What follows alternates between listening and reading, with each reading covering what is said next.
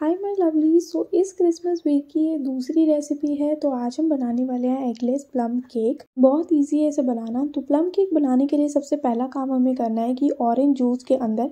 हमें सारे dry fruits ना सोक करके रखने हैं ओवरनाइट 24 आवर्स के लिए, या फिर आप कम से कम छः या सात घंटे के लिए भी सोक करके रख सकते हो। फिर उसके बाद हम ये वाला प्रोसेस स्टार्ट करेंगे कि हम एक बाउल लेंगे, उसमें हम डालेंगे एक कप मैदा, दो तिहाई कप पाउडर शुगर एक चौथाई कप कोको पाउडर एंड साथ ही में कुछ मसाले डालेंगे जिसमें लौंग, दालचीनी और अदरक का पाउडर एक चौथाई चम्मच हम डालेंगे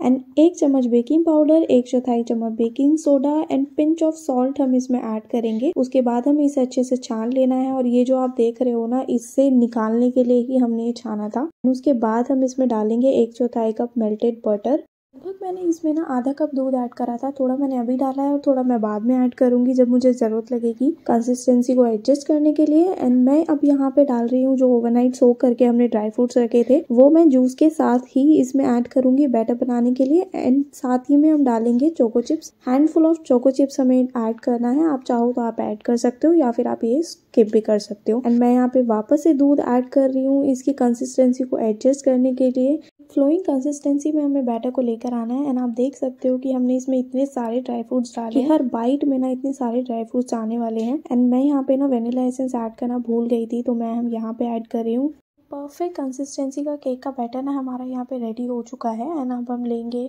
एक लोफ टेन उसमें हम बैटर ट्रांसफ़र करेंगे। मैंने यहाँ पे तीन को ना पहले ही ग्रीस कर लिया था बटर से बाय द वे अब हम इसे बेक होने के लिए रखेंगे प्री हीटेड ओवन में 150 डिग्री सेल्सियस पे. 50 से 60 मिनट के लिए हमें इसे बेक करने के लिए रखना है, उसके बाद एंड जैसे ही फिफ्टी मिनट्स कंप्लीट होते हैं ना, आप इसे एक बार चेक कर लेना कि कितना टाइम बचा है स्क्योर डाल के. एंड मेरा केक ना 60 टू 65 मिनट्स में रेडी हो गया था एंड उसके बाद मैंने इसे चेक किया तो स्क्योर एकदम क्लीन निकला था, उसके बाद मैंने इसे ठंडा होने के लिए रखा एंड डीमोल्ड किया. एंड देन मैंने इसे कट करके सर्व किया। तो इस क्रिसमस आप ये रेसिपी ना क्रिसमस डे पे या फिर अदर डेज़ पे या क्रिसमस वीक पे बना के आप अपनी फैमिली को या अपनी फैमिली गेस्ट या फ्रेंड्स को खिला सकते हो। एंड आपको ये रेसिपी कैसी लगी मुझे कमेंट सेक्शन में ज़रूर बताना। And if you like watching my videos then please do like share comment and subscribe to my YouTube channel which is hashtag B बोल see you in my next video bye